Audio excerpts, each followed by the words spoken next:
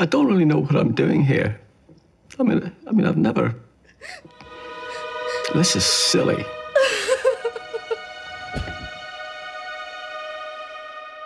Have you written anything since our last meeting?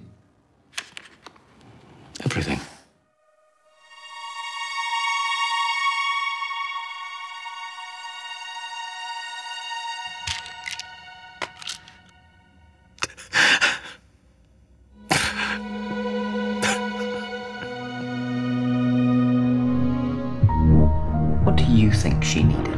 She died younger than my daughter. I just can't do this anymore. You never could. Younger than my daughter I'm the only one who knows the truth.